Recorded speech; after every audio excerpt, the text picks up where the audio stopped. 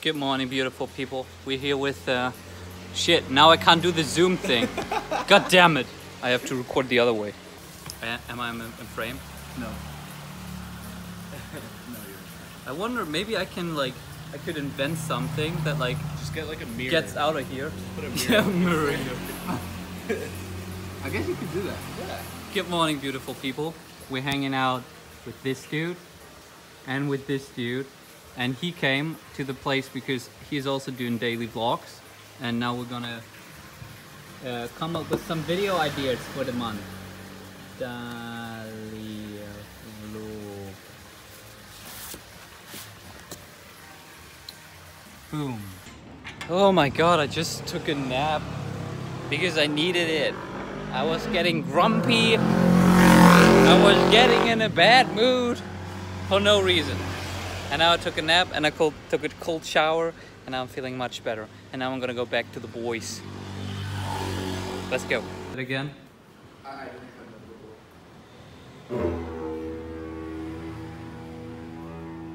That's a very long schlong.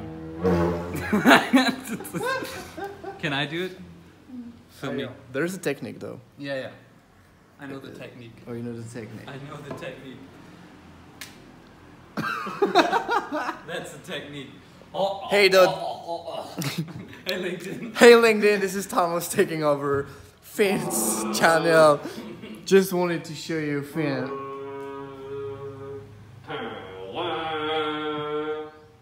Finn's having a client meeting. so, hey Finn, I wanted to ask you what are you currently working on in Bali?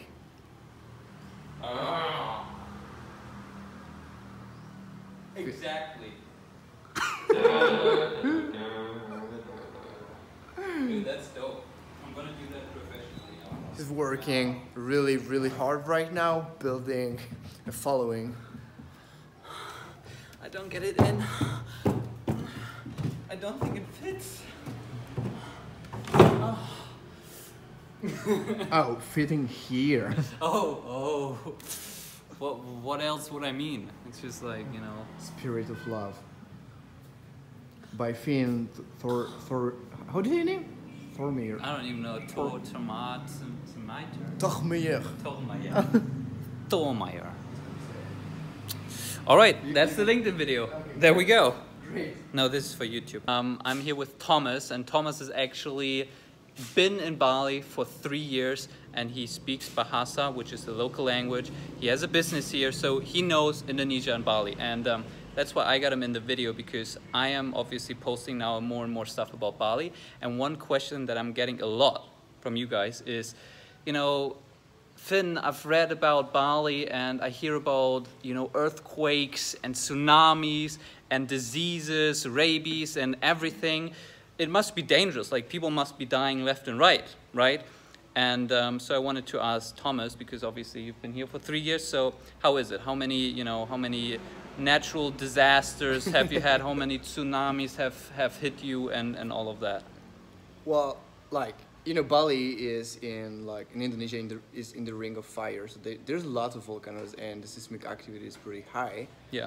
However, and even though we had some, um, you know, volcano eruption in Bali, we got some um, tsunami, but that wasn't in Bali. That was far away in Indonesia. There's a lot of natural disasters, but there's nothing like really scary. Uh, just to give you an example, like the thing that's killing, you know, like most people, not natural disasters, they're like motorbike accident. Just So- like in any other country, basically. just like in any other country, right? So obviously there's some like tropical diseases, but not like there's dengue fever. Yeah. Got that once, lasted three days, and then I was fine. Yeah.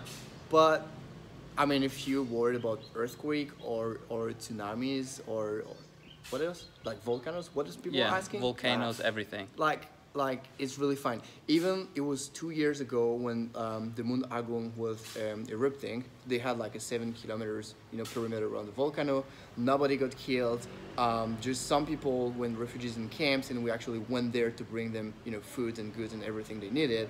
But it was really safe. Like nobody got injured. And I just know out there in Europe and USA, like people were panicking, like Bali is into chaos as the Mount Agung is erupting, but um, that that's not how it happened. Yeah. Also, I mean, like Indonesia is a big country, so if there's a tsunami in Yeah. Indonesia, it's like Yeah. it's still like very, very unlikely that it hits you Ex- personally. Exactly. So um, I feel like for most, as for most things, um, it's just another reason to like not do and to have an excuse to not go if you really want to go. So if you want to go, yes, there are things happening, but as Thomas said, it's more likely that you're gonna get hit by a car or a scooter than any tsunami or earthquake or volcano eruption hitting you. The notion of transcendence and traditional spirituality, and it's just like seeking these highs, seeking these um these these this- this nirvana, but in reality, it's like fuck, like the contrast is juicy.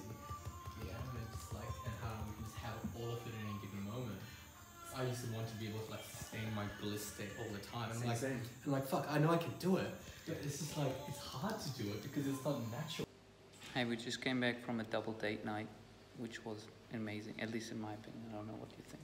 Um, I think any night where you have four desserts for two people, Oh yeah. pretty good night. I had two vanilla milkshakes. I think I overdid it on the milkshakes. Anyway, going to bed now. See you tomorrow. Peace out. Hard to wake up when there's no alarm to wake you up. Sitting,